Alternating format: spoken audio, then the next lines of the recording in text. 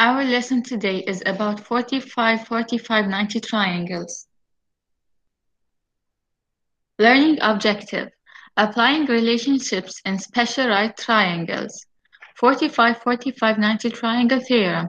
Isosceles right triangle. In a 45, 45, 90 triangle, the hypotenuse is the square root of 2 times as long as each leg. Hypotenuse equals x of square root of 2 and the leg equals to x.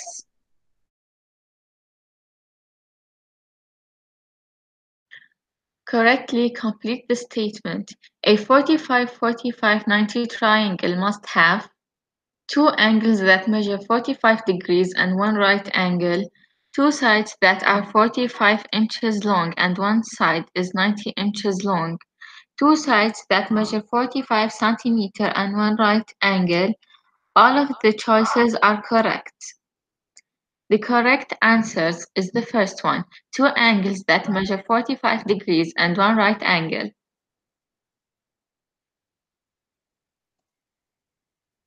Question number two. Correctly complete the statement. The hypotenuse is always the longest side of a right triangle, the side opposite the right angle, as long as square root of 2 times the leg, or all of the choices are correct. And the correct answer is that all of the choices above are correct. Question number three. Correctly com complete the statement.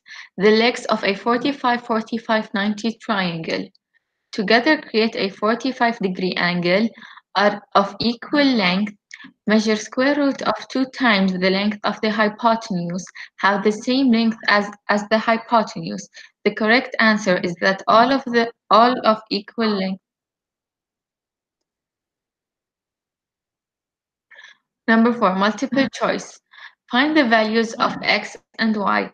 Here we have this triangle and we are going to use the theorem. We have the leg equals to 6, so the other leg will equal to 6. And for the hypotenuse, it will equal to 6 square root of 2. So the correct answer is D. Question number 5. What is the approximate perimeter of triangle ABC? We know that the perimeter is when we add up all the sides of a triangle together. To find the missing side, I am going to use the 45-45-90 triangle theorem. And here we see that BC equals to 2 meters. So AB is going to also equal to 2 meters. The theorem says that the hypotenuse equals x square root of 2. So it will equal 2 square root of 2 meters. Now I am going to find the perimeter of the triangle by adding together the lengths of each of its three sides.